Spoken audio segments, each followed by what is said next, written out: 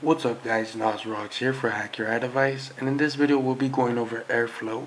AirFloat turns every iOS device into an AirPlay receiver. AirFloat is an open source tweak that has been in development for a while but hasn't been released on Cydia until now. With AirFloat, you don't need to buy an Apple TV or an Airport Express to stream music through your house. All you need is Wi-Fi and a spare iOS device.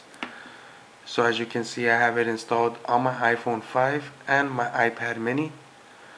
All you have to do is go into Cydia. You don't need to add no repos. It's in the Big Boss repo. Just look for AirFloat.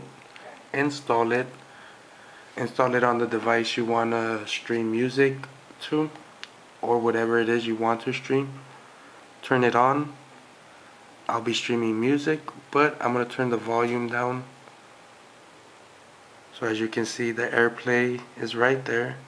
I'm going to stream it to my iPad. Turn the music down. Look it.